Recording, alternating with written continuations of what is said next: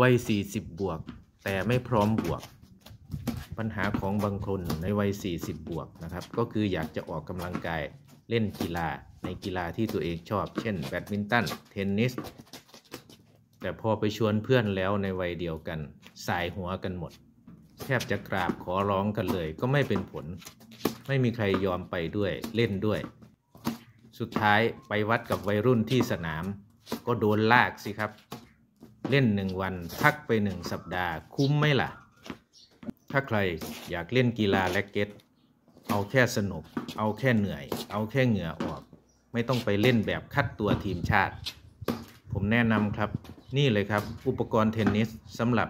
ตีคนเดียว ไม่ต้องมีโค้ดมาคอยบอกกำลังจะง้างตีว่าต้องตีไปตรงนั้น ตีไปตรงนี้ ก็ตีเลยสิครับ อยากตียังไงก็ตี ไม่มีใครมาวุ่นวายด้วยกับเรา สนุกได้เหงื่อ แถมไม่ต้องงอไข่ อุปกรณ์เทนนิส มีไม้ มีลูก มีเชือก